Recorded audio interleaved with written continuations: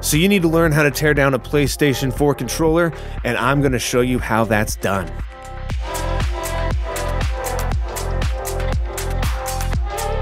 Welcome to the tutorial, everybody.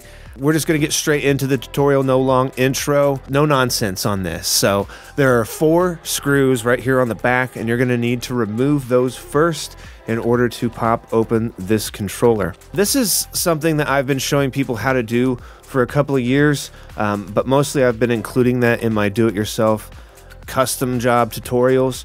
Like I show you how to, you know, paint and all that stuff and do really, really cool things with your controllers. But I wanted to omit that from future tutorials because it just takes up too much time in each video. And it's like, ugh, how about I just make one video for this?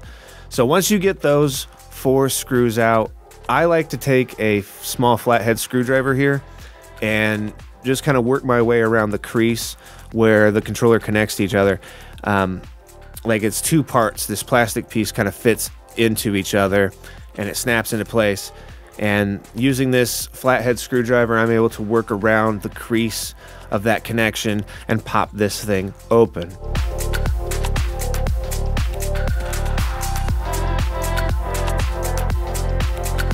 Once you've pulled apart this controller, you're going to see this ribbon cable here. So be careful when you're actually separating these two plastic pieces because this ribbon cable can break. After you have popped it open, you're going to find a screw underneath of this black piece here where the battery is. So let's get the battery out of the way and let's get this plastic piece, this cradle out of the way. You can do that by on the sides here where I am uh, grabbing, you can just kind of pull it out and then pull it upward and you'll have to work a little bit on the other side as well. You just basically just pull it away from the motherboard of the controller and then pull it off. It shouldn't give you too much trouble. If it does, just sit there and patiently work with it. It will come out eventually. They do like to give a little bit of a fight. Now, once you have that taken off, then you can remove this screw right here.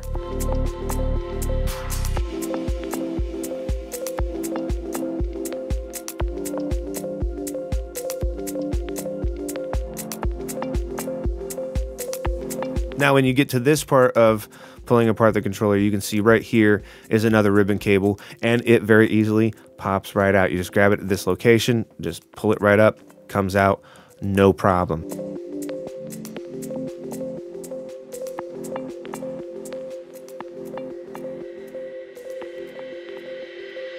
All right, so once we have that out of the way, that screw out of the way, we're going to go ahead and remove the insides of this controller. The cool thing is on the inside of this controller, everything is has its own plastic cradle that this all sits in, so you don't have to like completely tear every little piece apart. You can actually flip this kind of outward. This part can sometimes also give you a little trouble. All you got to do is just work with it. A lot of times for me, I find that it does easily come out, but occasionally, as you can see with this one, it's given me just a little bit of a, of a, a fight getting out. This, this controller was kind of not having it from the beginning. So that's nice to show you because they're, you know, if you run into a struggle and you're going, what am I doing wrong? You're really not doing anything wrong. As you can see, I'm having the same problems. Now, this is the first generation controller. Um, the differences between this controller and the newer controllers are the trigger buttons are a little bit different in the way that they fit into place uh, on the actual motherboard of the controller. And down where the light bar is, the screws are in different locations, but generally it's the same process, the same steps. So if your controller looks different than this one, that is why. And another thing, if you're doing this because you want to do a custom controller, the newer versions of the controller, the buttons that I'm finding on eBay, the trigger buttons don't fit. So you'll have to paint those yourself.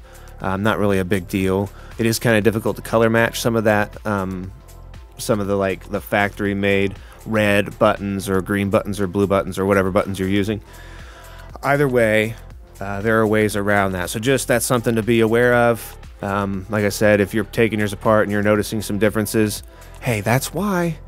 Um, yeah, honestly, taking apart a controller like this is not difficult. It's actually quite a bit easier than even taking apart an Xbox One controller.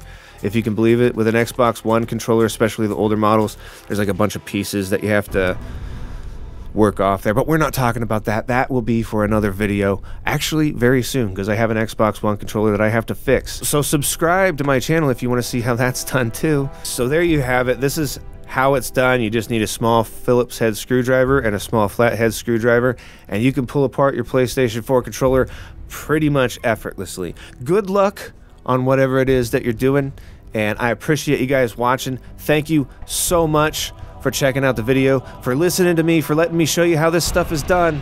If you enjoyed the video, if I showed you some things that you didn't know, if you felt like you learned something, let me know by clicking like and leaving me a comment. I love hearing from you guys.